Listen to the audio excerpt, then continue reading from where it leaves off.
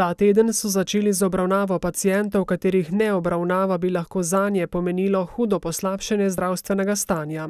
Obravnavamo pacijente v internistični ambulanti, nefrološki, diabetološki, gastroenterološki ambulanti, antikoagulacijski.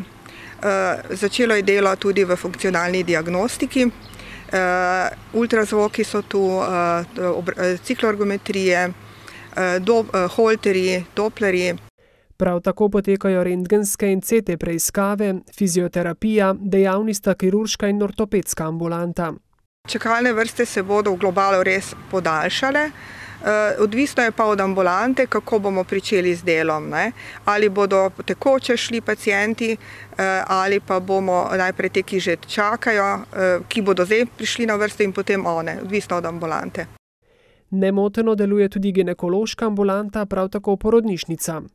V skladu s smernicami, ki jih je izdala republiška strokovna komisija s tega področja, zdaj sama prisotnost partnerja ali drugih spremljevalcev pri porodu v času epidemije še ne bo možna.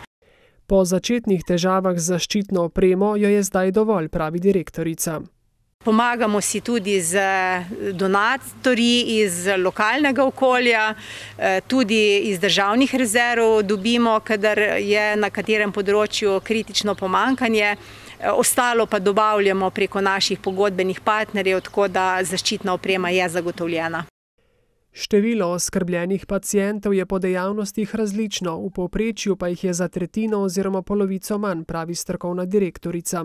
In kako je z njihovim naročanjem?